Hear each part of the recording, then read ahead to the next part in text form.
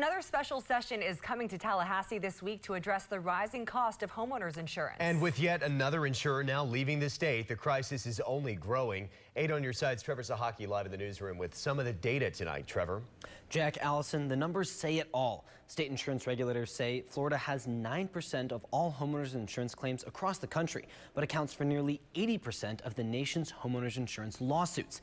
And that's what this special session hopes to drastically reduce the insurance crisis in this state is is bankrupting us. And um, you know i think it's got to be the the number one issue in tallahassee. When the state legislature convenes for their special session tomorrow all eyes will be on florida's property insurance market. Everybody's paying these inc- incredible rates uh, for their insurance uh, and this is now i think this is the third special session we've done on insurance in the last two years. Andrew Learned is a Democrat and former state representative for Brandon. The main issue is what's called one way attorney fees.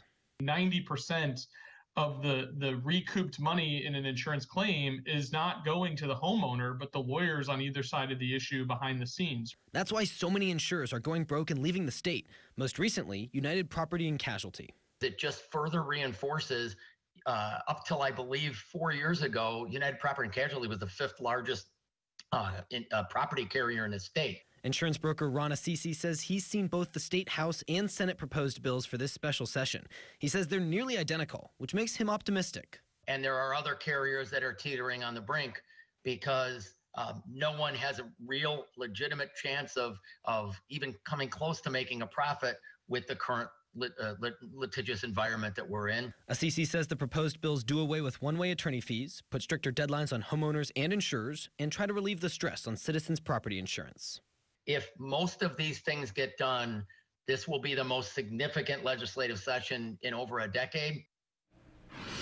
And these next few days will tell us just how big of an if that is. Right now, Citizens Property Insurance, the insurer of last resort, is growing by nearly 10,000 policies a week, and that number keeps going up.